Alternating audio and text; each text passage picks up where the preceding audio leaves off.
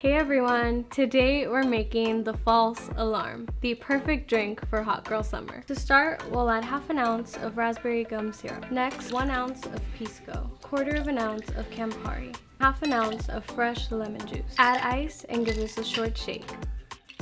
Strain into a chilled wine glass with ice and top with champagne.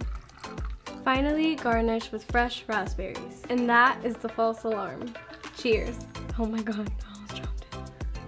Feels like.